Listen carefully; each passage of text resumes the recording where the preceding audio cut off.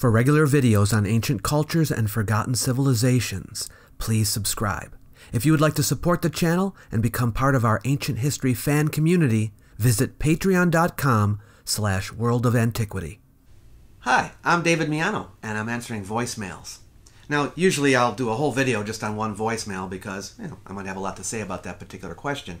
But I've had a, a number of voicemails build up in my list here that don't require as long of an answer, so let's do a bunch today. I'll see how many we can get through, and hopefully you'll like them. Okay, this one's from a fellow named Steve. Hi, here's my question for David. Over the last few years, I've watched a number of videos of lectures and presentations by Graham Hancock, Robert Bauval, and other writers with similar kinds of theories about lost civilizations, lost knowledge, and all that kind of stuff. During their presentations, these writers invariably make the claim at some point that their theories are being overlooked, ignored, or even actively suppressed by the academic world. This notion that new or maybe revolutionary ideas are being withheld from the public for some arbitrary reason seems to have a certain allure among an audience that is perhaps unfamiliar to some degree with how scientific research is published. I'll be interested to hear your perspective as an ancient historian on these claims and why they are misleading for viewers that are not well versed in current research practices. Thanks. Okay, and thank you for your question.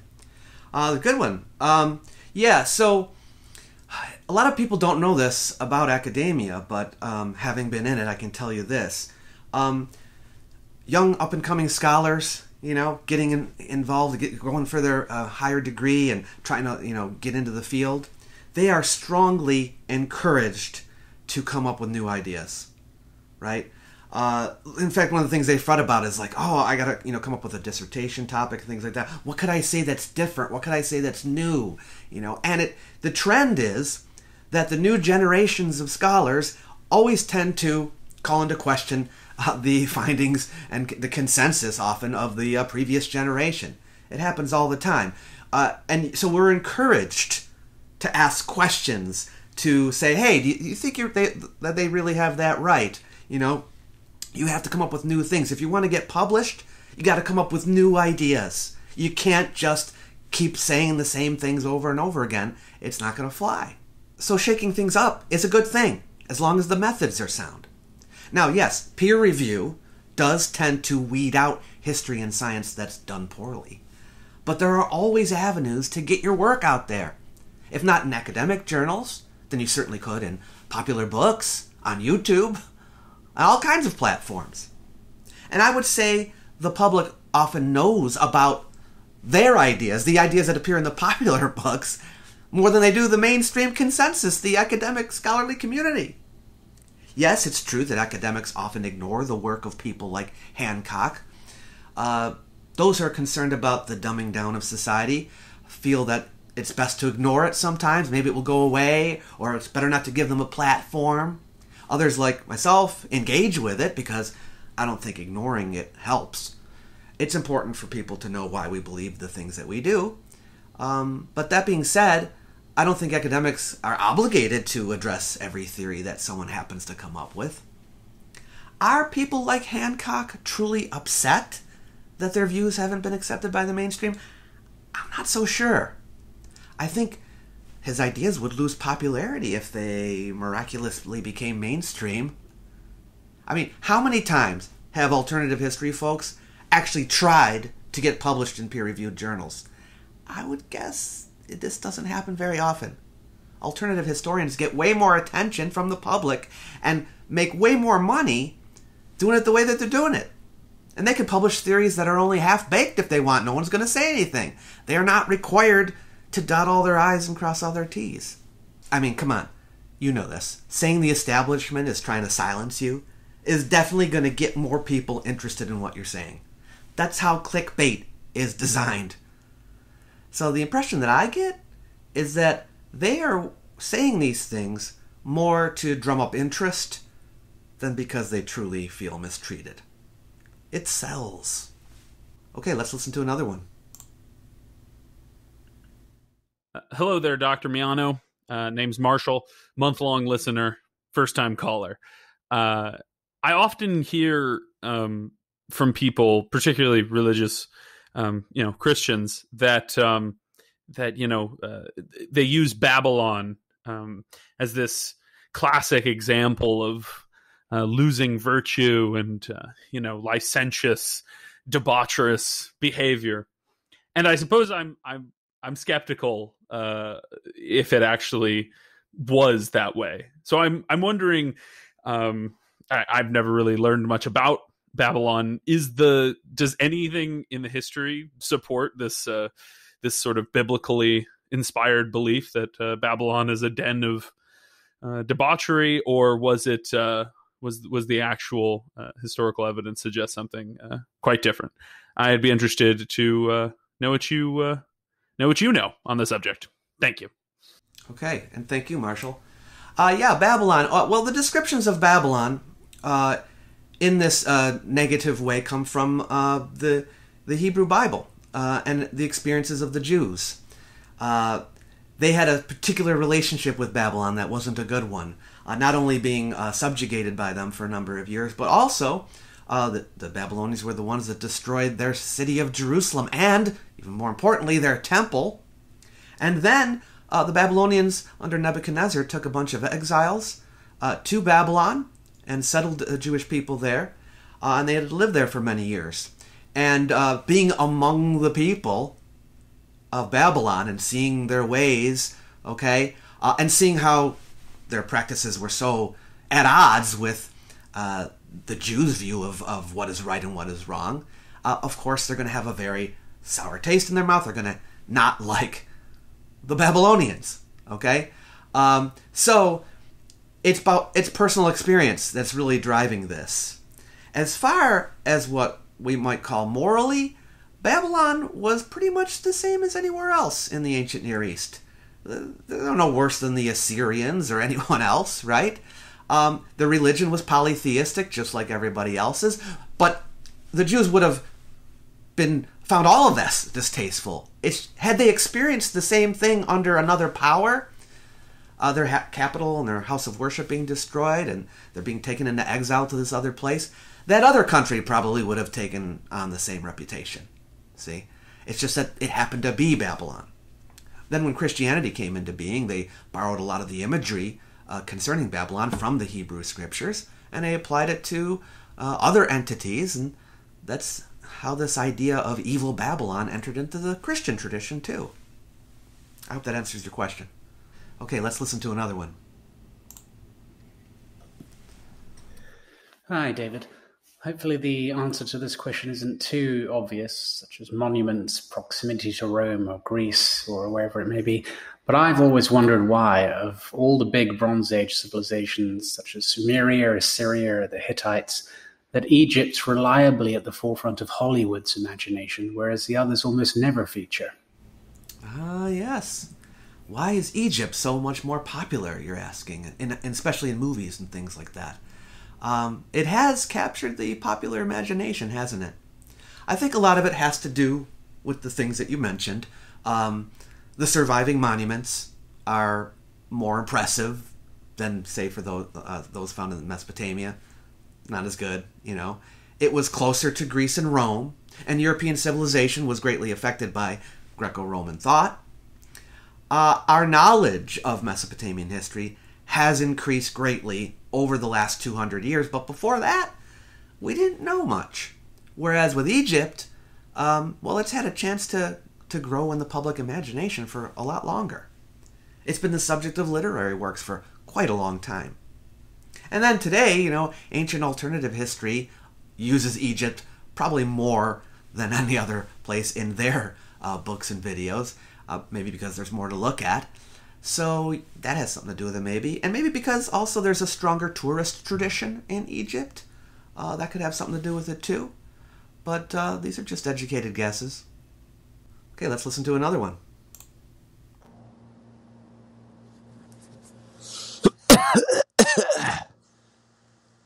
Why are you a dummy? Um, I, I think we're having some technical difficulties here. Uh, uh, just ignore that. How old are dice and why do they have dots instead of numbers? Okay. Uh, question from a possible board gamer here. Dice. Well, the immediate forerunner to dice would be uh, knuckle bones, which uh, these are ankle bones of animals that people would throw and use to to divine things, you know, to get answers uh, in in the randomness of it. Uh, but the first actual dice, well, there are dice that were found in the Royal Cemetery of Ur. This is around 2600 BCE. Uh, they're pyramidal shaped uh, dice there in the Royal Game of Ur. Uh, so that's, you know, that's not cubical dice. Uh, the first cubical dice, I think, would be from Egypt. Uh, been found in tombs there, going back probably to about, oh, maybe 2000 BCE or so. We have what we call the Tuscanian dice. This is from Etruria, the Etruscans.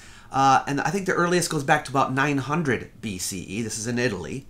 Uh, and some of them have uh, numbers, the, actually the word of the numbers written out on them. Others have the little, uh, the pips, the dots that we're, you're just asking about. Uh, these are made of bone and ivory. Um, cubical dice made their first appearance in China around 600 BCE. The Romans had cubical dice, uh, some with words and some with little pips. Uh, I don't think there are any with Roman numerals, uh, but it's the Roman traditional dice, the, the ones that they were using with the dots that came into our society, and uh, that's how we got them. I think the the dots are easier than, of course, it's easier than writing the words. It's also probably better than Roman numerals too, uh, and persons of any language can understand it. Uh, and no matter what number system you have, you'd understand it if you just had to count the dots. So I think it's just for practical reasons. Okay, let's try this one.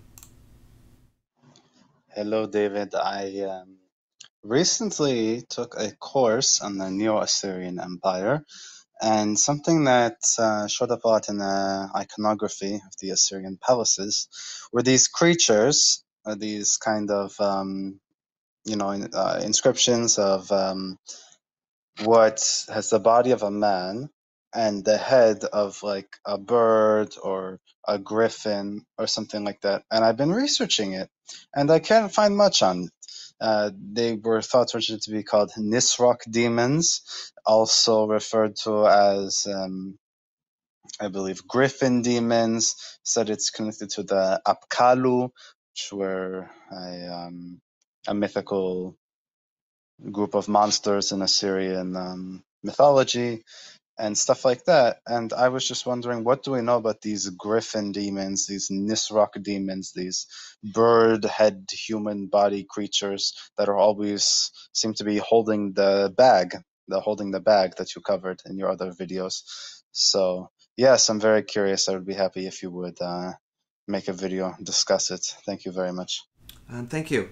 Um, yeah, I mean, you seem familiar with my video on the um, on the bags, and in the first one, the one that's called uh, "Mystery of the Sumerian Handbags Solved," um, I have a whole section in there on the uh, these creatures, the Apkallu, and where they come from, what they are, and uh, what they were for, and all that. I'm not sure if you caught that, but I will uh, recommend that video to you. I'll give you a, a link to it uh, below. Um, but I think there's a section like uh, a good 10 minutes on that um, where I kind of go over it. So check that out when you get a chance. Okay, here's another one. Hi, David. Have you heard of the Richat structure in Mauritania possibly being the remnants of Atlantis? I would like to know your thoughts on this, as I personally believe that it could be the case. It remains vastly underexplored and understudied by academics to this day. Oh, yes. Um, this is another one that I've actually done uh, two videos on. Uh, and I think they're the first two videos in my Myths of Ancient History series. Uh, if you hadn't checked, uh, checked them out yet, I encourage you to do that. I will also leave links to those below. Uh, but they're called uh, The Lost City of Atlantis and um, the, oh, what is the second one called? Uh, it's about the, the Truth About the Richat Structure. I think that's what it's called. So uh, check those two out. And I, I kind of cover the entire theory in uh, those two videos. And I hope you like them. All right, let's try another one. Hey, Doc. I'm a student majoring in history. I was hoping for some advice because I don't feel like I know as much about history as I could or should by now. And I think part of it is because if I don't think about a certain topic or subject after a while, I tend to forget a lot about it, like how exactly the story played out and the effects of it and the exact time of dates. and also I don't feel confident enough in my analysis of historical events. So I was wondering if that's a normal thing for people, you know, like us trying to study it. And also, um, most of my knowledge of history comes from the lectures I've attended and historical YouTubers like yourself and Mr. Beat, and occasionally documentaries. And I know going forward, reading is going to be very important, but I'm very much an audio visual learner, so it's very hard for me to get into reading. So I was wondering if you have any advice for people who are into history but, you know, have a hard time reading. So yeah, thank you. Oh, thank you for your question. Um, hey, don't feel bad. I, I have had trouble remembering things too.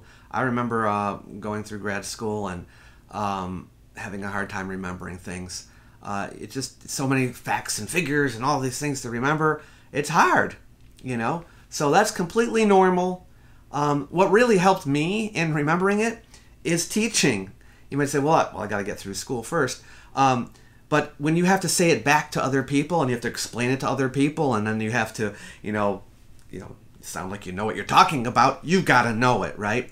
But the more times you say it, and you can even do this in practice at home, uh, the more times you say it out loud, explaining it to someone else, that's going to implant it into your mind. It's going to help you remember it better.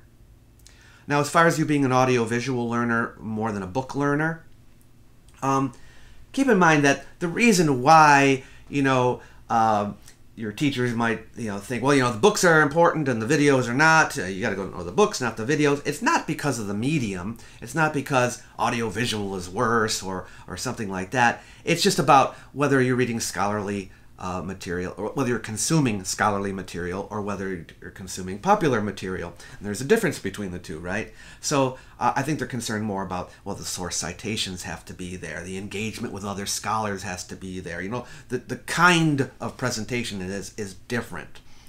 Uh, there may come a day when you know uh, technology or not even technology where it just gets to the point where academics are going to be like well why don't we have a scholarly journal in visual form. You know, they could they could actually do that right now. That's not a bad idea. But anyway, and you can have peer-reviewed videos. Why not? You know. Now, of course, that doesn't help you right now. But my point is that it's not the fact that books aren't inherently better. It's just that at, at this point right now, if you want to engage with the scholarship, you have to read the scholarly materials. You got to know them. You know. Uh, but yeah, I mean, what can you do? Um, you could read them out loud, you know, maybe it'll help implant it into your head better or something like that. But also, practice makes perfect. The more you do it, the better that you're going to get at it. I hope that helps. Okay, let's listen to another one. Hi, David. I am a student of classics here in Glasgow, and I've noticed that there's been a recent debate surrounding whether or not you need to learn classical languages in order to study classics effectively. I wondered what you thought of that. Um, I can see why the ancient languages would be useful in terms of being able to go directly to primary sources but I also understand that expecting a certain level of Latin or Greek proficiency can end up being quite elitist. I very much enjoy your channel. Thank you very much for your time and take care. Bye bye. Thank you, Anna. Um, from what I understand about the issue, uh, some schools have or are considering not requiring the learning of Greek and Latin uh, for classics majors and uh, that this is about undergraduate degrees. Uh, for a higher degree, such as a, a, master's or a PhD, I think that learning the ancient languages is absolutely essential, right? You, you, you need to know them in order to uh, be able to fully engage with the primary sources, right? But for an undergraduate degree, um, although I think learning the languages is a good idea and it would definitely be helpful, uh, it's definitely better. For the level of scholarship uh, a student would be engaging in, reading the classical documents already translated into their own language would probably suffice. So, uh, the short answer is I don't think it's necessarily a bad thing to drop the requirement. Okay, here's another one. Hi, Dr. Miano. My name is Andrea, and my question for you is What are your hobbies or interests outside of ancient history? Um, I love your videos, and I look forward to hearing your answer. Thank you so much. Okay, thank you, Andrea. Uh, yeah, what are my hobbies and interests outside of ancient history? Well, um, there's a few things I like to do. Um, I'm a big fan of uh, genealogy. Uh, so I guess that's a form of history when you think about it, but working on my family tree, I mean, you know, uh, tracing my ancestry. Uh, so I've been working on that off and on, and um, that's a lot of fun because it's kind of like doing history, but that history that no one else is doing. Because who else is working on your family, right? Your own family. Uh, so you know, trying to find out my, who my ancestors were and when they lived and where they lived and anything about them, I find uh, very fascinating and fun. So I work on that. I also um, I like to cook. Um, I'm always cooking. I cook almost every day. Um, I like to try different cuisines um, from different countries around the world, and I I love to go shopping and get all kinds of unusual ingredients and trying them out and seeing what I could make. So that's a lot of fun too. Uh, what else do I do? I play chess. I enjoy that. Am I great at it? I'm okay. All right, I'm not great, but I'm okay. Um, and what else? Um, I'm a big Doctor Who fan. Oh, I love that show. Um, yeah, those those are some of my interests outside of ancient history. Um, so yeah, I'm kind of nerdy. Um, but uh, hey, you know, once once you're in on ancient history, you might as well go all the way, right? Okay, well, anyway, I think that's all we have enough time for today. Those are my voicemails. Uh, we've got more, of course, and I hope you'll uh, continue to uh, watch uh, the series of our questions and answers. Uh, I have other series as well if you haven't checked them out yet. Myths of Ancient History is one that everyone seems to like. I have travel videos, check them out. And of course, if you do love this channel and you want to support it, I could sure use the patrons. So you can go over to patreon.com slash world of antiquity to uh, help me out over there and there are, there are some perks for doing that as well. Uh, thank you gifts, I guess you could say, like PBS does. So uh, thank you again for watching, and we'll see you next time. You might like my little e booklet, Why Ancient History Matters. It's designed to persuade people that the subject is important, even in the modern world. You might also wish to use it to help spread the word, so feel free to share it with someone you know. It's free for anyone who wants it. I've left a link in the description box below the video for you to grab a copy. Catch you later.